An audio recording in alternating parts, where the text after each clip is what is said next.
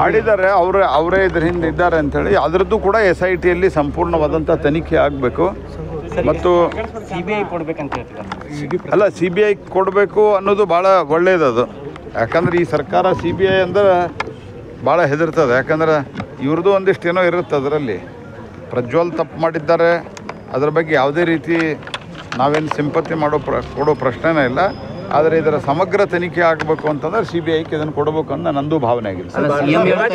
ಪ್ರಶ್ನೆ ಅಲ್ಲ ಸುದ್ದಿಗೋಷ್ಠಿ ಮಾಡ್ತಾ ಹೇಳ್ತಾರೆ ನನಗೆ ಎಸ್ ಐ ಟಿ ಮೇಲೆ ನಂಬಿಕೆ ಇಲ್ಲ. ಯಾಕೆ ಅಂತಂದು ಹೇಳಿದ್ರೆ ಪ್ರಕರಣದಲ್ಲಿ ಸಿದ್ದರಾಮಯ್ಯ ಅವರ ಹೆಸರು ಡಿ ಕೆ ಶಿವಕುಮಾರ್ ಅವರ ಹೆಸರು ಹೇಳಬಾರ್ದು ಅನ್ನೋ ಒತ್ತಾಯ ಮಾಡಿದ್ದಾರೆ ನಮಗೆ ಅಂತ. ನೋಡಿ ನಾವು ನಾನು ಅದಕ್ಕೆ ಕೇಳೋದು ಇಷ್ಟೇ ರಾಜ್ಯ ಸರ್ಕಾರ ನಮ್ಮ ಕಡೆ ಕೊಟ್ಟರೆ ಸಿ ಬಿ ಐ ಕಡೆ ಕೊಟ್ಟರೆ ನಾವು ಅದನ್ನು ಸಿ ಬಿ ಐ ತನಿಖೆಯನ್ನು ಮಾಡ್ತೀವಿ.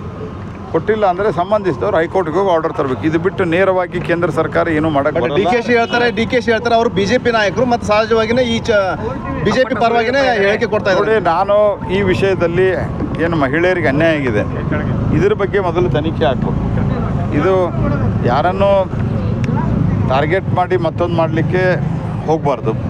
ಇದರಲ್ಲಿ ಪ್ರಜ್ವಲ್ ರೇವಣ್ಣ ಅವ್ರದ್ದು ಮೇಲ್ನೋಟಕ್ಕೆ ಏನು ಸಿ ಡಿಗಳು ಬಂದಿದ್ದಾವೆ ಇದು ಭಾಳ ಆಘಾತಕಾರಿಯಾಗಿದೆ. ಇಟ್ ಈಸ್ ಮೋಸ್ಟ್ ಶಾಕಿಂಗ್ ಹಾಗಾಗಿ ಉಳಿದಂತೆ ಏನಿದೆ ತನಿಖೆ ಅನ್ ಅನೇಕರು ಒತ್ತಾಯ ಮಾಡ್ತಾ ಇದ್ದಾರೆ ಸಿ ಬಿ ಐ ಕೊಡುವಾಗ ಸಿ ಬಿ ಐ ಕೊಡುವಾಗ ನೀವು ಯಾಕೆ ಭಯ ಪಡ್ತೀರನ್ನ ಸಿ ಬಿ ಐ ಇಂಡಿಪೆಂಡೆಂಟಾಗಿ ನಡೆಸ್ತದೆ.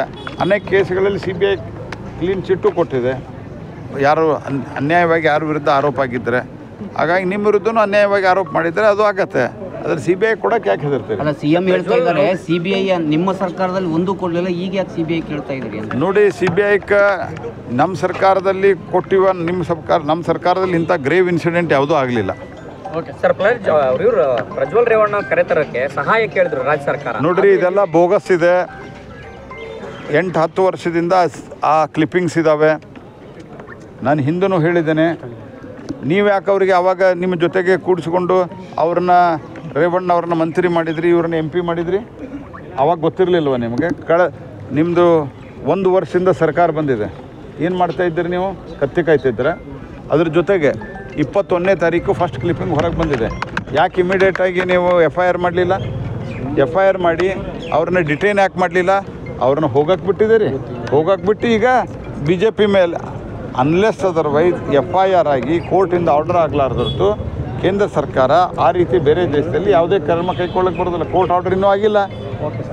ಆದ್ದರಿಂದ ರೆಡ್ ಕಾರ್ನರ್ ನೋಟಿಸು ಇತ್ಯಾದಿ ಹಾಕಿದ್ದಾರೆ ಅವರು. ಬ್ಲೂ ಕಾರ್ನರ್ ನೋಟಿಸು ಹಾಗಾಗಿ ಅವರು ಎಲ್ಲಿ ಹೋಗೋಕ್ಕೆ ಸಾಧ್ಯ ಇಲ್ಲ. ಯಾಕಂದರೆ ಇಲ್ಲಿಂದ ಬಿಟ್ಟು ಎಲ್ಲಿ ಹೋಗ್ತಾರೆ? ಬರಲೇಬೇಕಾಗತ್ತೆ. ಬಟ್ ನಾನು ಹೇಳೋದು, ರಾಜ್ಯ ಸರ್ಕಾರ ಅತ್ಯಂತ ಬೇಜವಾಬ್ದಾರಿಯುತವಾಗಿ ನಡ್ಕೊಂಡಿದೆ.